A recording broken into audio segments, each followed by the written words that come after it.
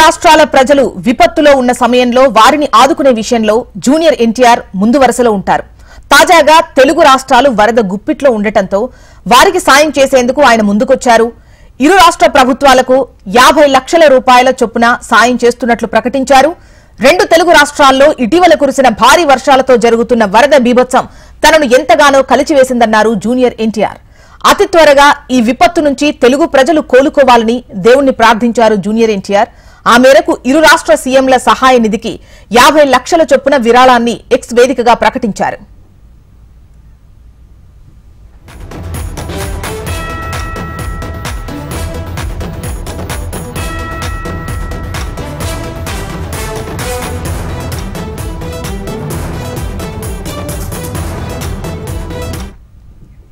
తెలుగు రాష్ట్రాల ప్రజలు విపత్తులో ఉన్న సమయంలో వారిని ఆదుకునే విషయంలో జూనియర్ ఎన్టీఆర్ ముందు వరుసలో ఉంటారు. తాజాగా తెలుగు రాష్ట్రాలు వరద గుప్పిట్లో ఉండటంతో వారికి సాయం చేసేందుకు ఆయన ముందుకొచ్చారు.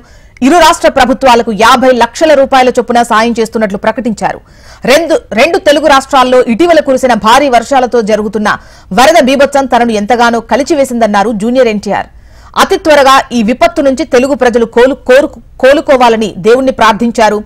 ఆ మేరకు ఇరు రాష్ట్ర సీఎంల సహాయ నిధికి యాభై లక్షల చొప్పున విరాళాన్ని ఎక్స్ వేదికగా ప్రకటించారు జూనియర్ ఎన్టీఆర్.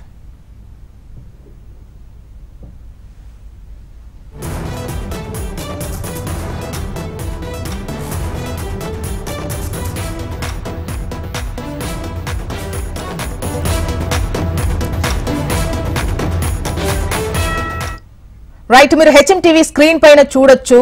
ట్విట్టర్ వేదికగా ఎక్స్ వేదికగా జూనియర్ ఎన్టీఆర్ తన విరాళాన్ని ప్రకటించినటువంటి విషయాన్ని మీరు హెచ్ఎం టీవీ స్క్రీన్ పై చూస్తున్నారు. రెండు తెలుగు రాష్ట్రాల్లో ఇటీవల కురిసిన భారీ వర్షాల వల్ల జరుగుతున్నటువంటి వరద బీభత్సం నన్ను ఎంతగానో కలిచివేసింది. అతి త్వరగా ఈ విపత్తు నుంచి తెలుగు ప్రజలు కోలుకోవాలని నేను ఆ దేవుణ్ణి ప్రార్థిస్తున్నాను.